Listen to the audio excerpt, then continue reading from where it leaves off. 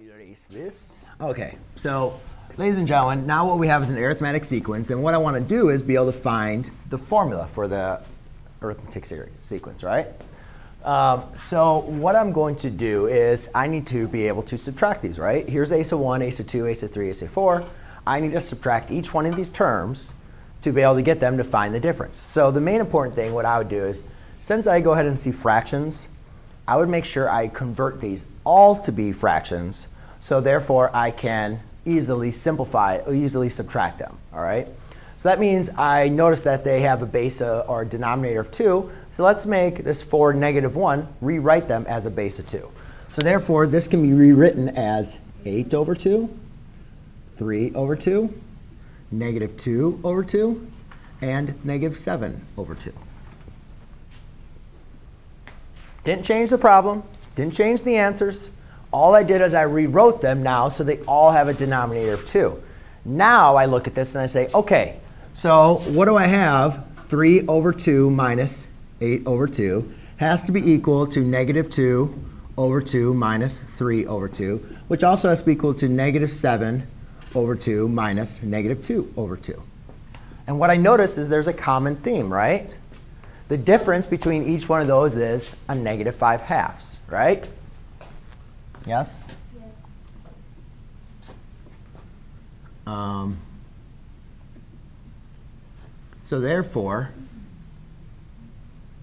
you guys can see that's the difference. So don't freak out when you see the fractions. Just try to work with them as best we can. So now we know that d is equal to a negative 5 halves.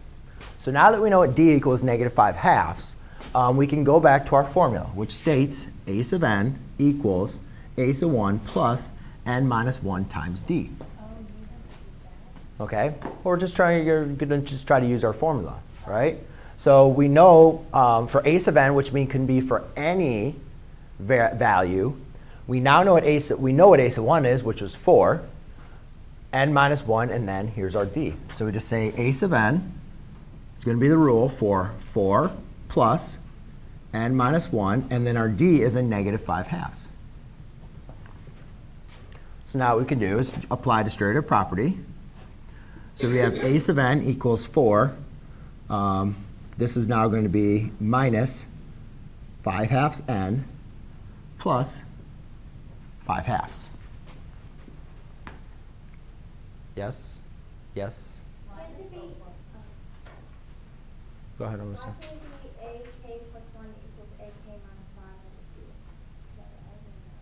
AK plus 1. I don't know. I would I'll go and look at your what you're using um, your thing right now. I'm just. Because it's like um, like AK plus, so that equals define A two, A one, A over two minus five over two. Well, I'm not done yet. I'm not done with the formula yet. So the last thing we need to do is we need to combine the 5 halves and the 4, right? And remember, we rewrote 4 as 8 halves, right? So I can rewrite this as 8 halves.